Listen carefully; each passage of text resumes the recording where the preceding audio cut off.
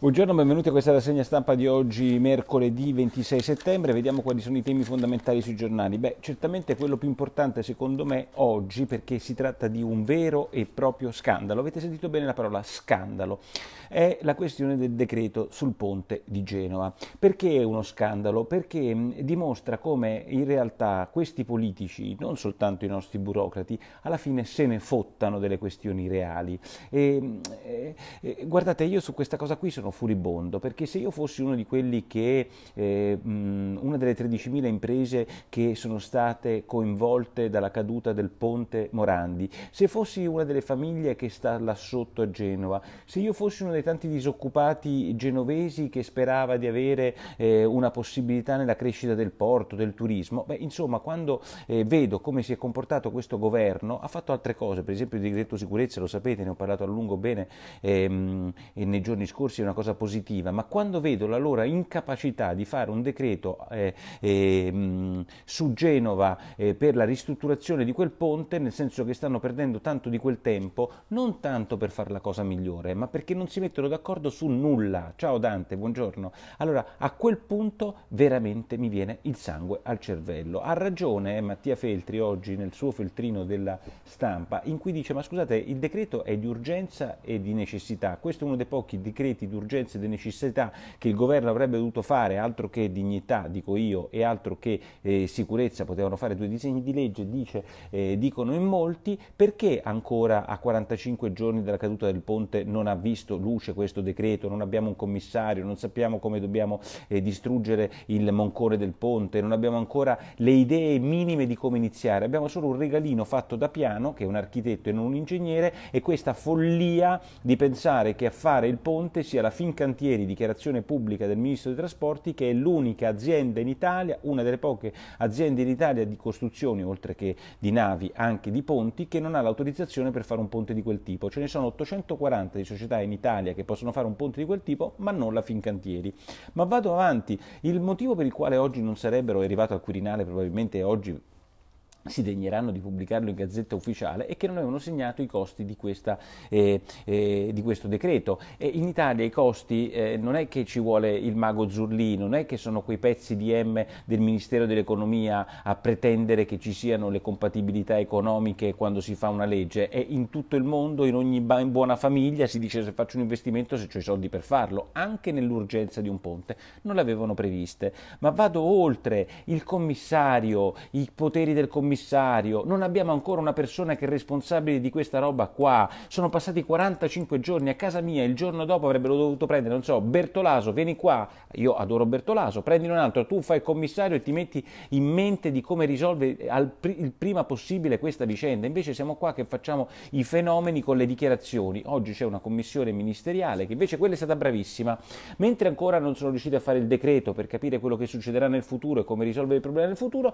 c'è una commissione ministeriale materiale, titolo della verità, titolo del fatto, il titolo del fatto, sapevano e non hanno fatto nulla, cioè in 20 giorni la commissione ministeriale ha detto che Benetton sono responsabili perché sapevano che il ponte sarebbe più o meno crollato e stava in cattive condizioni e non hanno fatto nulla. Io dico quale imprenditore si assume la responsabilità di non fare nulla con un ponte che sta cadendo, secondo me è una follia, ma pur dando per acquisito che questi del Ministero, della Commissione ministeriale abbiano trovato questa roba qua. Quelli della Commissione ministeriale che in 20 giorni fanno quello che non riesce a fare il Ministro, cioè un decreto, sanno che all'interno del Ministero c'è una direzione apposita che si chiama Vigilanza sulle concessioni autostradali e quei cazzo di dirigenti di questa commissione che stavano al Ministero che cosa hanno fatto in questi anni? Se in 20 giorni questi hanno scoperto che non facevano nulla i Benetton, perché negli ultimi 15 anni al Ministero non hanno vigilato per far sì che si mettesse... Le concessioni servono a questo, c'è un imprenditore che può essere un ladrone, un imprenditore che può approfittarsene, c'è una direzione al Ministero che li controlla. Se questa direzione, che ha come titolo il controllo delle concessioni, non ha controllato, cari ministeri, a loro invece non diciamo nulla. Ma la cosa che a me fa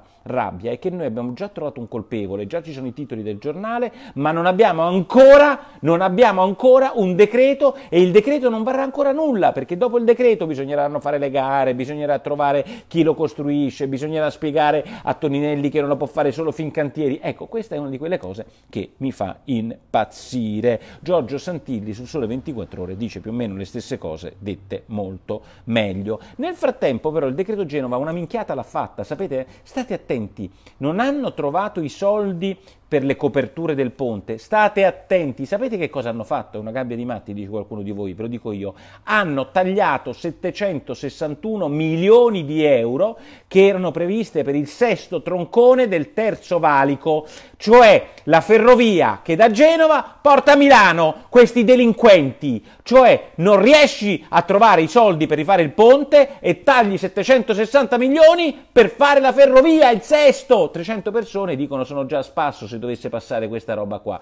Allora questa è una di quelle cose che ti fa capire come questi piccoli gesti siano disastrosi, disastrosi per questo nostro paese. Ovviamente tutti noi siamo contenti per il decreto sicurezza, almeno molti di noi lo sono, ma quando tu vedi come si comportano in materia economica questi qua, ti metti le mani nei capelli. Deficit, secondo il Sole 24 ore ci sarebbe un'intesa, sarebbe intorno all'1,9-2% rispetto all'1,6 rigoroso che voleva Tria, e anche qua non va bene. Quando Di Maio dice eh, do, eh, con, con, reddito eh, dobbiamo, aboliremo la povertà, è una roba che io non so chi possa convincere, qualche cioè, quando il ministro dello sviluppo economico dice aboliremo la povertà, è Renzi all'ennesima potenza.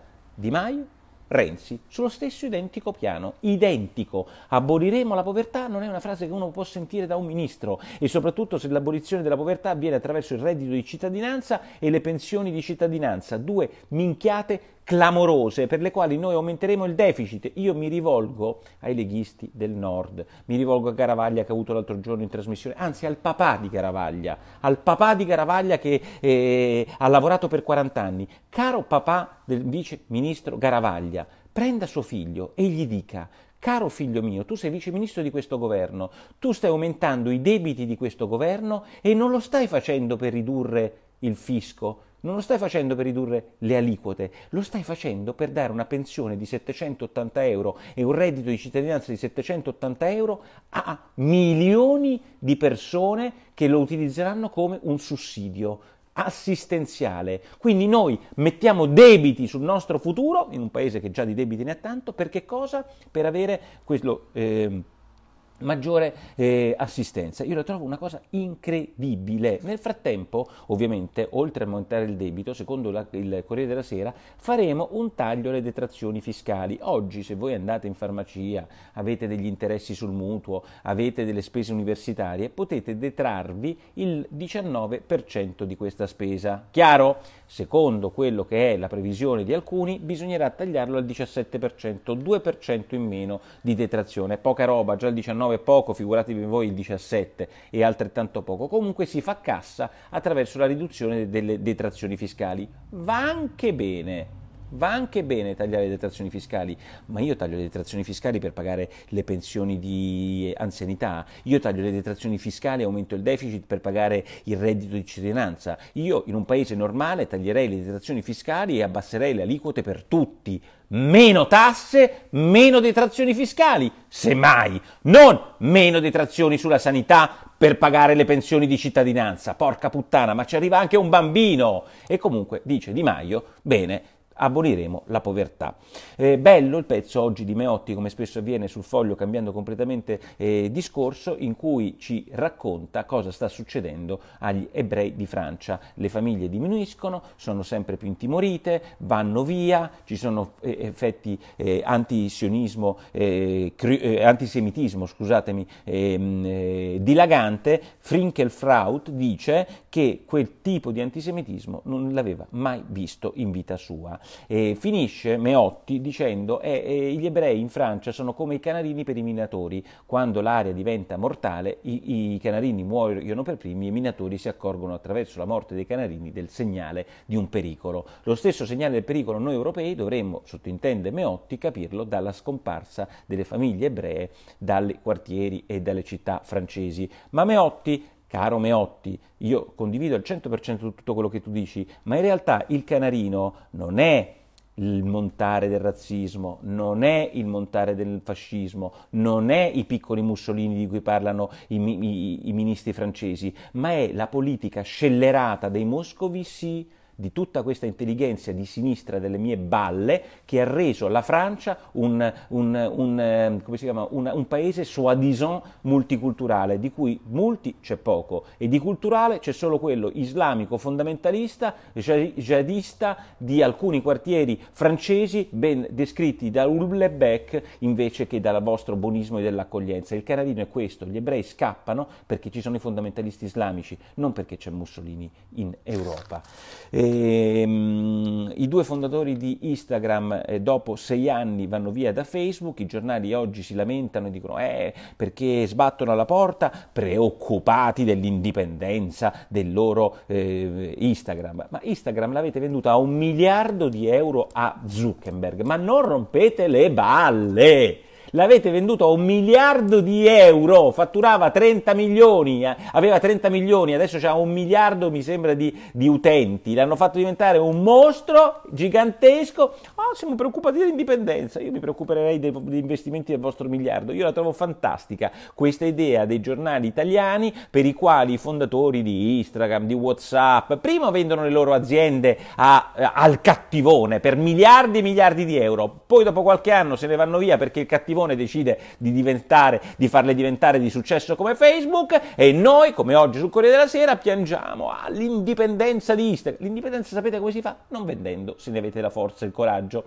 Ultima questione di vendita è quella di Donatella Versace, non Donatella Lettore, che oggi in un'intervista dice una cosa molto ragionevole. Cosa dice al Corriere della Sera? Guardate che io ho venduto gli stranieri e gli stranieri investiranno in Italia, renderanno sempre più grande questa azienda e creeranno sempre più lavoro in Italia. E comunque, dice Donatella Versace, e ha perfettamente perfettamente ragione. Io di offerte italiane per Versace non ne ho avute e da tempo che l'azienda era in vendita. E allora che facciamo? La facciamo fallire? E quante...